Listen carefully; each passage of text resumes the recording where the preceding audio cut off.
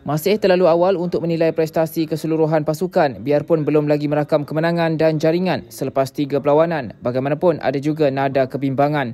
Demikian reaksi Ketua Pegawai Eksekutif Terengganu Football Club TFC Sinar Berhad Abu Rashid Yusof ketika ditanya mengenai prestasi skuad penyu yang masih belum merakam kemenangan dan sebarang jaringan setakat ini. Jelas Abu Rashid beliau percaya dan yakin skuad kendalian jurulatih baru kelahiran Croatia bakal bangkit untuk memburu kemenangan dan membuka akaun jaringan dalam aksi seterusnya. Pada masa sama, beliau juga sudah memanggil dan bersemuka dengan barisan kejurulatihan dan pemain bagi memastikan mereka mampu menggalas tugas dengan lebih berkesan walaupun sudah ada peningkatan.